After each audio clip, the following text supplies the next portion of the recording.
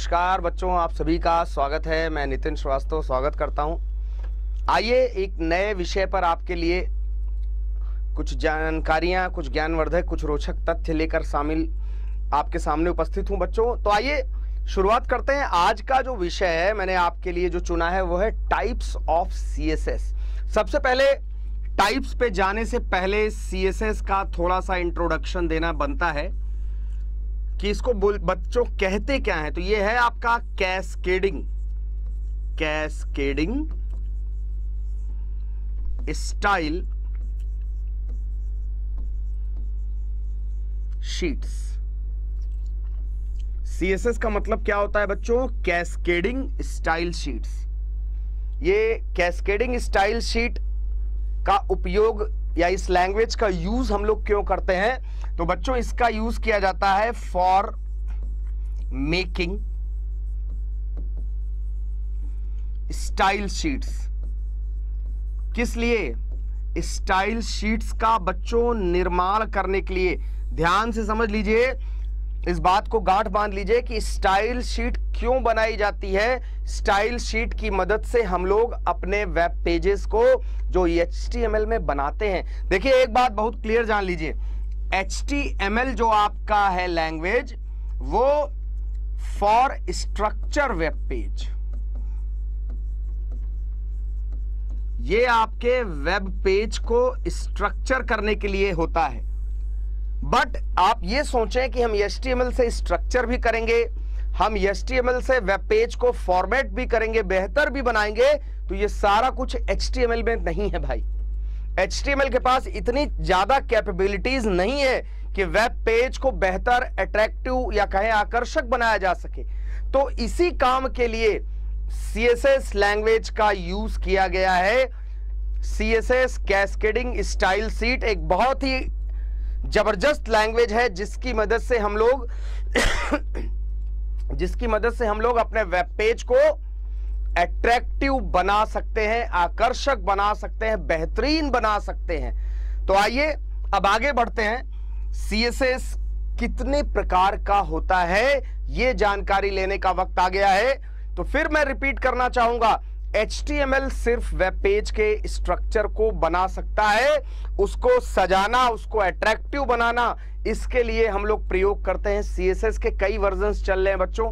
Latest जो है CSS three जिसका यूज़ किया जा रहा है और इसका डेवलपमेंट डब्ल्यू थ्री स्कूल्स ने किया था। सीएसएस एक कह सकते हैं कि आपका open source cascading style sheet है और इसका खुद का फ्रेमवर्क भी एग्जिस्ट करता है, जिसको W3 CSS कहते हैं, जिसकी मदद से आप बनी बनाई क्लासेस तो कभी इसके बाद CSS फ्रेमवर्क पे अलग से हम लोग बच्चों ज़िक्र करेंगे इंट्रोडक्शन लेंगे। लेकिन अभी हम लोग, अभी हम लोग बच्चों बात कर रहे हैं सिर्फ़ किसकी? सिर्फ़ हम CSS और उसके टाइप्स की बात कर रहे हैं। CSS फ्रेमवर्क अगले वीडियो में हम आपके साथ डिस्कस कर लेंगे। तो आओ बच्चों स्टार्ट करते हैं। कि भाई सीएसएस कितने प्रकार का होता है? चलिए, सभी लोग देखिएगा।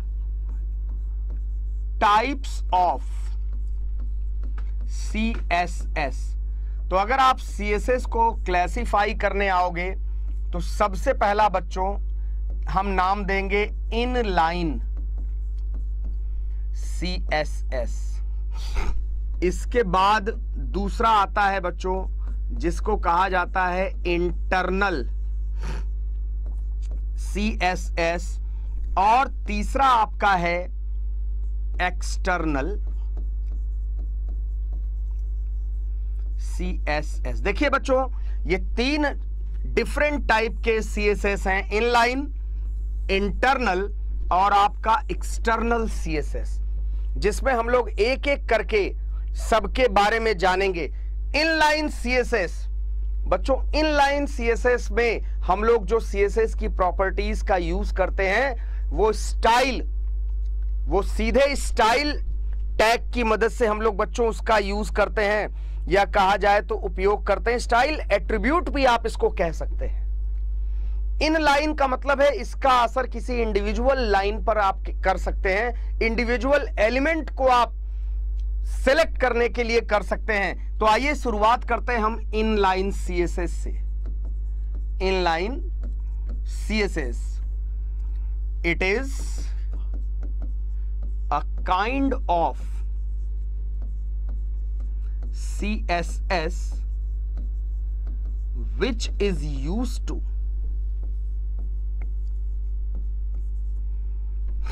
which is use to style, any individual element inside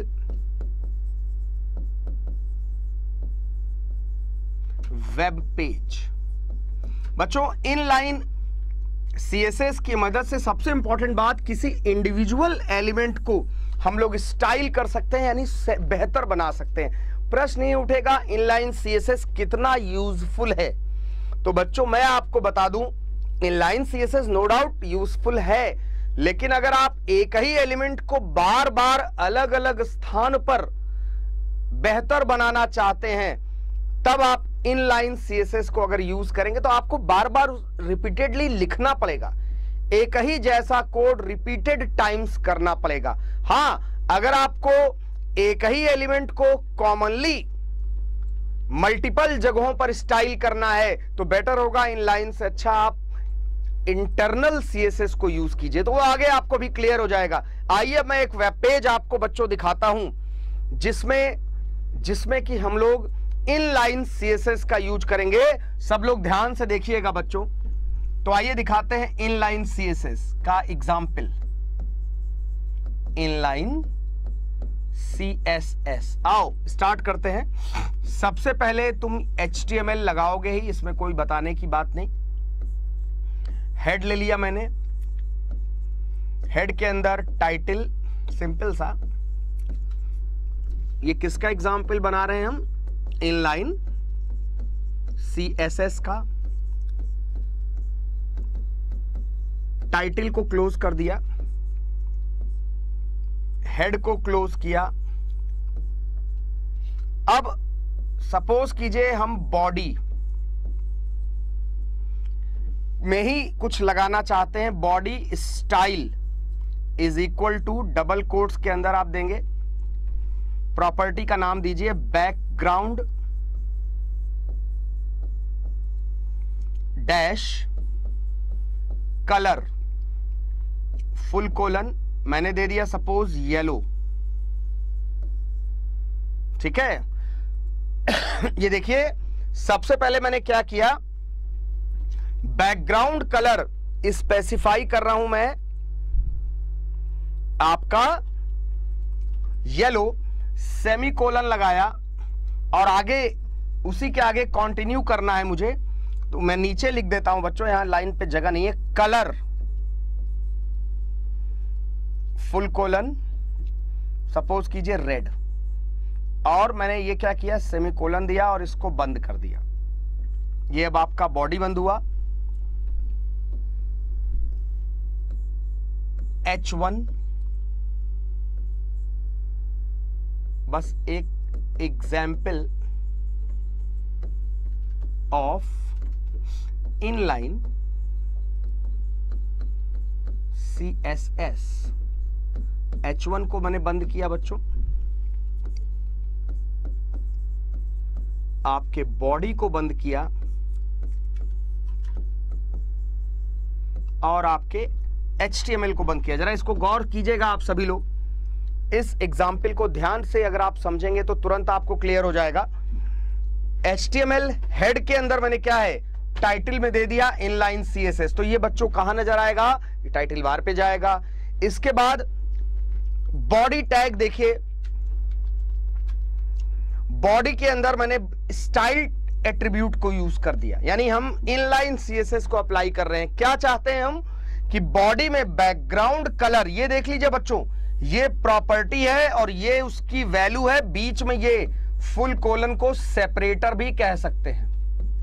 क्या कह सकते हैं आप? सेपरेटर भी कह सकते हैं। और ये सेमी कोलन ये बताता है कि आगे अगली प्रॉपर्टी स्टार्ट हो रही है। तो इस प्रकार से आप चाहें जितने भी बच्चों, जितने भी प्रकार के एट्रीब्यूट्स आप चाहते हैं यूज़ करना, आप उसको लगा सकते हैं प्रॉपर्टीज़ को ऐड कर सकते हैं। तो अब आप बताइए बॉडी में बॉडी के अंतर्गत जितना भी एरिया आता है, उसमें बैकग्राउंड कलर येलो दिखेगा और जो टेक्स्ट आप लिखे हैं, यानी अब आपने बॉडी में किया क्या है? H1 को स्पेसिफाई किया। तो H1 को आपने स्पेसिफाई किया बच्चों तो ये जो एग्ज़ाम्पल ऑफ़ इनलाइन सीएसएस इसका जो टेक्स्ट कलर है वो रेड हो जाएगा, और इसका बैकग्राउंड कलर क्या आएगा? येलो आएगा। ये किसका प्रभाव है? ये आपके सीएसएस का प्रभाव होगा बच्चों। तो आशा करते हैं इनलाइन सीएसएस आपको क्लियर हो गया होगा। अब इसके बाद जो अगला एग्ज़ाम्पल मैं आपको दिखाने की कोशिश कर रहा हूँ, वो किसका बच्चों? वो मैं आपको दिखाऊँगा इंटरनल सीएसएस इंटरनल सीएसएस में क्या होगा? आइए देखिए। अगला। इंटरनल सीएसएस सबसे बड़ा प्रश्न इसको इंटरनल सीएसएस क्यों कहते हैं? In this type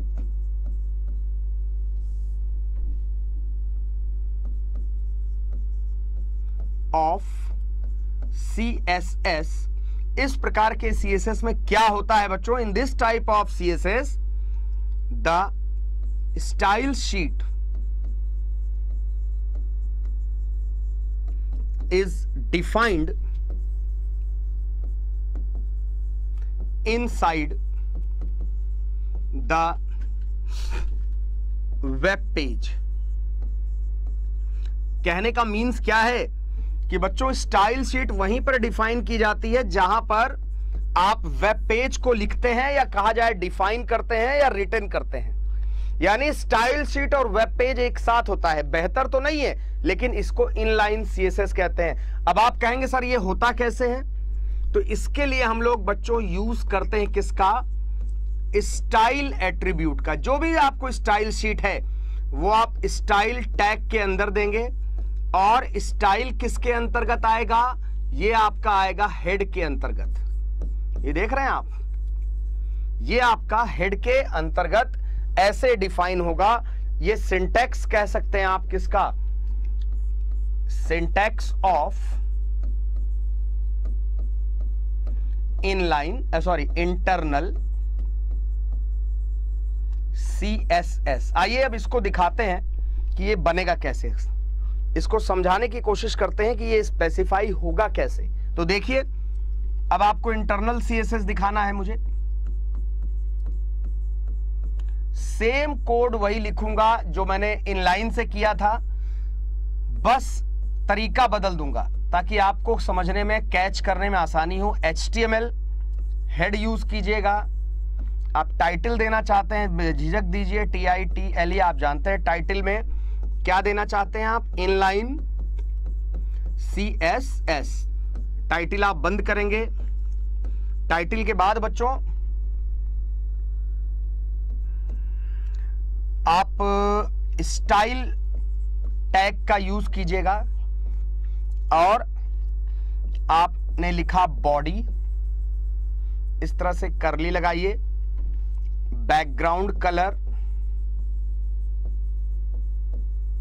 प्रॉपर्टी का नाम दे रहा हूँ। सपोज़ कीजिए आपने दे दिया येलो सेमीकोलन आगे दे सकते हैं, नीचे भी दे सकते हैं। कलर फुल कोलन आपका सपोज़ रेड ये देखिए, और ये आपका बच्चों, मैंने बंद कर दिया। क्या बंद कर दिया? आप देख रहे होंगे बच्चों मैंने आपका ये बॉडी को स्पेसिफाई किया इसी के साथ। मैं पैराग्राफ को भी स्पेसिफाई करना है तो फिर से कर ली। पैराग्राफ जहाँ यूज़ करेंगे आप, उसका बैकग्राउंड कलर सपोज़ कीजिए मैंने ऑरेंज दे दिया। इस तरह से आप स्पेसिफिक मतलब बस तरीका देख लीजिए। पी बंद कीजिए, ये आपका बंद हो गया। अब आपका क्या बंद होगा? स्टाइल बंद होगा। आपका हेड बंद होगा। आपका बॉडी। ठीक है ना? बॉडी में हमने कहा H1 example of internal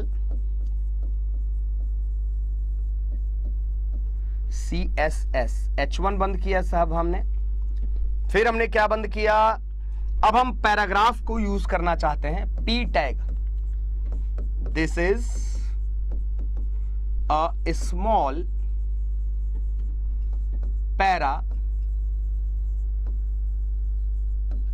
paragraph ये आपका पैराग्राफ बंद हो गया। ये आपका मैंने बॉडी को बंद किया और ये मैंने आपका, देखिए एचटीएमएल को बच्चों बंद किया। अब आप इसको समझिए इस प्रोग्राम को। यहाँ पर आप देखिए इंटरनल सीएसएस इंटरनल सीएसएस मैंने यूज़ किया। इसमें एचटीएमएल आपका हेड है हेड के अंदर टाइटल है, ये तो आएगा आपके टाइटल बार पे। स्टाइल टैग के अंतर्गत मैंने बॉडी बच्चों स्टाइल टैग के अंतर्गत मैंने आपको बॉडी बॉडी में देखिए, ये आपके प्रॉपर्टी का नाम, ये उसकी वैल्यू ये प्रॉपर्टी का नाम, ये उसकी वैल्यू ऐसे स्पेसिफाई कर सकते हैं। इसी तरह से बॉडी के अलावा मैंने पैराग्राफ को भी बच्चों, देख लीजिए पैराग्राफ का बैकग्राउंड कलर मैंने ऑरेंज कर दिया।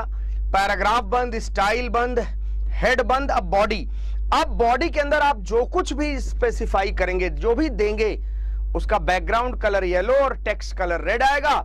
आप एच वन में देखेंगे आप तो उसका बैकग्राउंड कलर येलो रहेगा ही टेक्स्ट कलर रेड हो जाएगा।